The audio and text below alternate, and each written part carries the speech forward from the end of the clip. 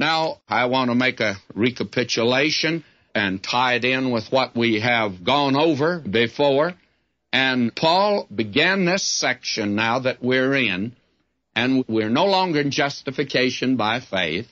We're now in the practical section, not doctrinal, but it's sanctification by the Spirit.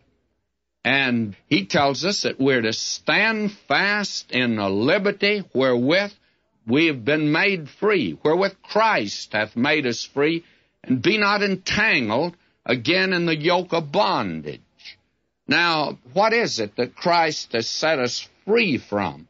Well, there's several things Paul has already mentioned in this epistle. Back in chapter 1, verse 4, he says, Who gave himself for our sins that he might deliver us from this present evil world, according to the will of God and our Father. And that's not according to law, but according to the will of God. He wants to deliver us from this present evil world. Now, He has set us free, therefore, that from this present evil world we don't have to serve it. And then we are set free from what we are by nature. And over in the second chapter, verse 20, said, I'm crucified with Christ. That is, that took place 1900 years ago. Nevertheless, I live. How do I live? Yet not I, but Christ liveth in me, and the life which I now live in the flesh, I live by the faith of the Son of God who loved me, gave himself for me. Now, you can see he says, I live, yet not I. You and I can't live the Christian life, but Christ can live it in us. And what a wonderful liberty we've been brought to today. And He's delivered us not only from what we are by nature, but He's delivered us from the curse of the law. And over in chapter 3, 13, Christ hath redeemed us from the curse of the law, being made a curse for us. For it's written, Cursed is everyone that hangeth on a tree. So that we've been delivered from any judgment of the law, the condemnation of it.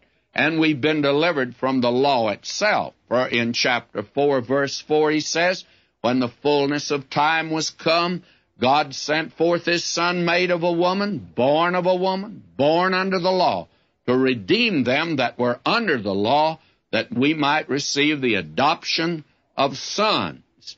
Now, all of these things we've been delivered from. And we've been delivered from a system that Israel had over a thousand years.